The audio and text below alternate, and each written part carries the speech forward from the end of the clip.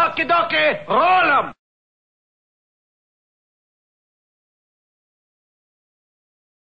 Andy, I'm going to show you a little experiment with cards. You may have seen me do stuff with cards before. Um, this isn't really a magic trick. It's, uh, it's more of a prediction type um, effect. We've got a deck of cards here. What I'm going to ask you to do is cut the cards roughly in half for me.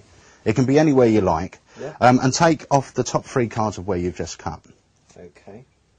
Yeah, and we'll, we'll close those back up. We don't need them anymore. Um, just fan the cards in front of yourself. Yeah. Now, before we go any further, do you want aces to be high or low cards? High. High cards. Okay, in that case, take the lowest card in your hand Yeah. and pop it in your back pocket for me. Okay. Yeah. Yeah? You've now got two cards remaining.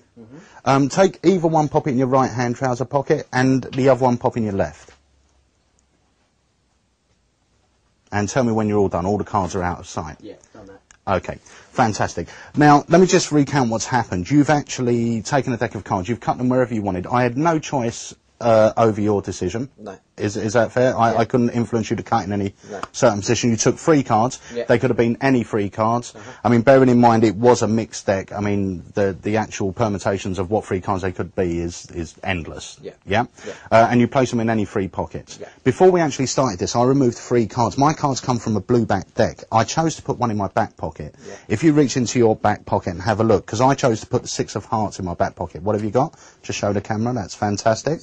Um, now I'm going to give you the choice. I've got a card in my right hand pocket and a card in my left. Uh, which one do you want me to go for first? Left. The left. Yeah. Okay, the left hand, uh, sorry, that's my right hand pocket. My left hand pocket, I placed a black card, which was the Queen of Spades. Take out the card of your left hand pocket. Let's see how you're done.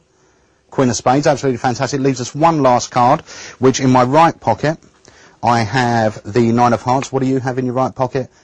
The Nine of Hearts, free selection cards, randomly selected, free random pockets. One thing I do want to show you as well is there is absolutely nothing else in my pocket. Okay.